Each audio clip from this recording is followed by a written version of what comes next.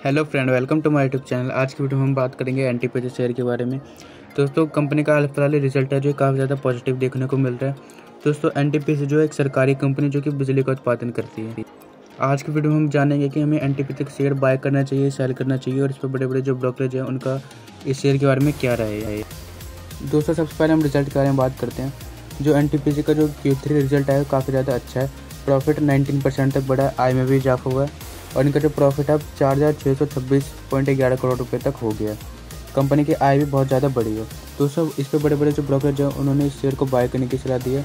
उनका कहना है कि एन टी पी सी जो कई सारे प्लांट लगा रहे हैं, जिससे कंपनी को बहुत ज़्यादा फ़ायदा मिलेगा। और कंपनी अपने क्षेत्र में काफ़ी ज़्यादा विस्तार कर रही है।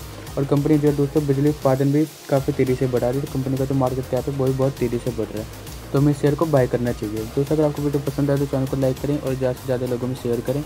और चैनल को सब्सक्राइब करना ना भूलें, जिससे हमारी नेक्स्ट वीडियो की नोटिफिकेशन आपको सबसे पहले मिल जाए।